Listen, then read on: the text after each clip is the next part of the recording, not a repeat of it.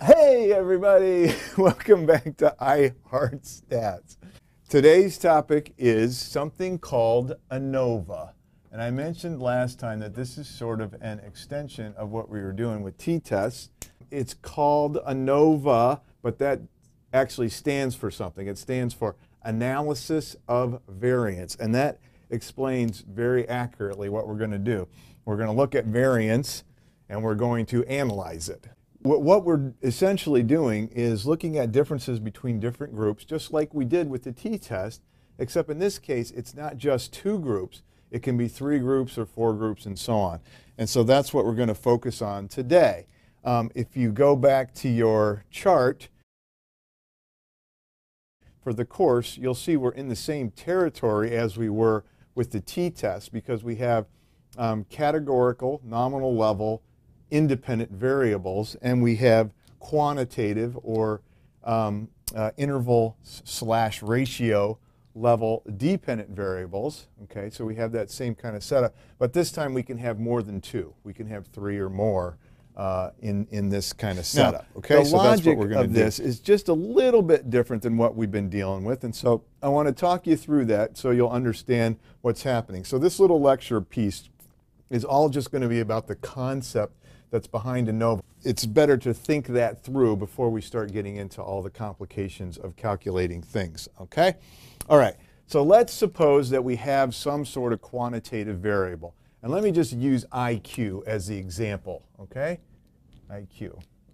And so let's supposing that we um, had a bunch of people take IQ tests and we got their scores, okay? So here's the possible not the possible range. I mean, you could have something higher or lower than this, but let's just say, uh, well, you know, for, for most people, uh, almost everybody really, we'd find them in this range between 50 and 100 on IQ.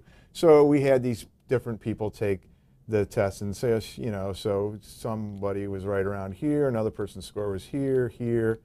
We'd expect more clustered toward the middle here. Okay, so that's the that's the setup. And then we went ahead and we calculated the mean score. So let's say the mean turned out to be right in here, okay? That's the mean, our x bar, okay? Now, um, each one of these scores differs from the mean. So that's the variance, that's the variability that we're interested in. So this score right here is just a little bit a ways away from the mean. This, these ones are further these ones are way further. So this distance away from the mean is the variability that we're interested in. If there were no variability, everybody would have the same score, it'd be the same as the mean. But, we, but with these, we actually have some variability. We have a little there introduced by that person. We have a little more there, and we have a lot introduced by that person. We have this variability, okay? And that's what we want to analyze. Um, and then once we do that, we want to try to figure out what's responsible for that variance. Why is this person so high and this person so low? Why is this person so close and this person not? And so on. We want to see what's behind that. And we might guess some different things that might be producing the differences in IQ. Okay? So that would be um, what we're trying to do with ANOVA. With ANOVA, though, it's got to be the thing that's explaining the difference has to be um, something that's categorical. Now, I'm going to talk about um, linear model, as we call it, um, in, in a bit more general terms before I really turn to ANOVA specifically, just to help you understand this idea of variance and what we're trying to do with it, okay? So what I want you to do is just think about three things that might be related to IQ. What might be related to IQ? Uh, let's think of something that we think actually would not be related, something that we think might be somewhat related to IQ, and then something that we think would be very highly related to IQ. All right, so those three things are, uh, just for the sake of our example, um, uh, let's say um, unrelated would be shoe size, okay? So we might not expect shoe size to actually have any relationship with IQ. That would just kind of be random. Something that would be somewhat uh, connected to it would be uh, income, let's say, okay? So, you know, we think that people who are smarter in general uh, might make more income than people who aren't as smart, okay? And then last, something that we think would be really highly related to IQ uh, would be your grade point average. So how did you do in school? You would think that would be have a really tight relationship with IQ. All right, so let's just take those three and think about them in on, on little charts, and that'll help us um, think about um, how they'll how this um, kind of analysis of variance kind of thing might work. Okay, so let's take the shoe size one. Okay, so here's supposing this is people's shoe size down here and this is their IQ up here, okay?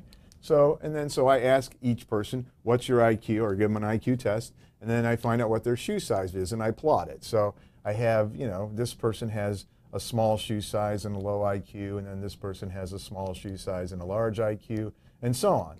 And so I have all these data points of these people. And it just looks like a random scatter of points because I, there's not any relationship. Shoe size doesn't really predict, um, doesn't really predict um, IQ. And so this would be, say this is the mean of IQ there in the sample. And we have these shoe sizes that are just randomly scattered all over the place. So what's happening there is that shoe size is varying um, but it's not varying in a way that's related to IQ at all. Okay, so IQ doesn't explain that variance. Once I put that IQ in there, it doesn't, it doesn't help me get rid of any of the variance. It's still all there, right? So there's one where it's not related. The variability in shoe size is not related to the variability in IQ. All right, let's, let's go to a different one. Let's say income. Now I'm just going to flip it here because we're more likely to think that IQ is going to predict income than income is going to predict IQ. Okay, so let's just, for the sake of keeping this conceptually clear, we'll put IQ down here. So low IQ, high IQ. All right. And then over here we'll have income. All right, so we expect there to be some kind of relationship here um, between these. So, so it might look something like this, okay? So we'd have data. So, you know, I got the person's IQ and their income, and I'm just plotting them out. Okay? So maybe it looks something like that. Okay, so now we can see there is kind of a relationship in here. All right? So as uh, people's um, IQ goes up, their income tends to go uphill. But this doesn't take care of all of the variation. There's still a lot of variation left there's a difference between this score and the line. I mean, this person's way off the line. So there's, there's a lot of variability that's left over after I stick the line in the data. Compare that to something like the GPA example where we think it's going to um, account for a lot of the variability, okay? So let's just do just draw the same thing here. Uh, this, except this time we have IQ down here and we have GPA up here. And this time since, we, since they're very closely related, the data is going to look more like this. So as IQ goes up, GPA goes up. All right, it's the same kind of relationship we had here. But this time, IQ accounts for a lot more of the variability. There's hardly anything left in the variability of GPA once I draw this line in here. These things are very close to the line. So instead of having these big parts that are deviations from this line, I only have little tiny deviations from this line. The variability in GPA that account, or variability in IQ that accounts for the GPA. So there's very little left in that GPA after I account for IQ. That's what we're doing with uh, when we're an, uh, analyzing the variance.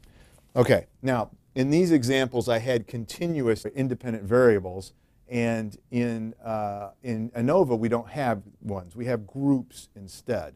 So we're going to come back to things like this when we get to regression and correlation, where we have um, interval or ratio level variables on both parts. But this same general model applies. And ANOVA is part of this class of things that we're going to do in the next chunk of the course called the general linear model.